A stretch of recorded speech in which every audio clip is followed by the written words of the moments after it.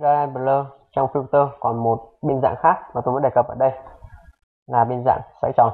Tôi chọn đối tượng hình và chọn filter, chọn blur và chọn phần Gradient Blur. Ở trước chúng ta đã có dịp làm quen với phần zoom rồi, bây giờ tôi chọn spin, tức là đối tượng chúng ta sẽ xoay tròn. Và tôi chọn dạng best để đẹp nhất, good là tương đối tốt, còn gap là xấu nhất có thể. Nếu bạn muốn có thể tăng đối tượng này lớn lên. Nếu như tôi tăng đối tượng này và tôi chọn những vùng nào tôi muốn tác động. Ở đây tôi cố tình muốn cái vùng này nó sẽ không bị làm mềm, làm mờ thì tôi chọn những vùng liên quan tương đối đến tấm hình hoặc là tôi để giữa tôi làm các bạn thấy. Có thể tôi tăng 28 mà ok. Các bạn thấy rằng đối tượng chúng ta bị biến dạng hoàn toàn. Tôi không muốn làm điều này, tôi cần chọn Z lại. Bây giờ chúng ta vào filter, blur và chọn Dry Blur.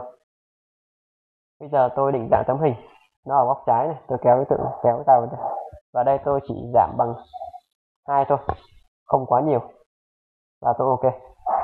Các bạn thấy rằng đối tượng mờ chúng ta mờ khá nhẹ và điểm tập trung của chúng ta vẫn có. Vì vậy, đây là một đối tượng là mờ cũng khá phổ biến và hay. Tại các bạn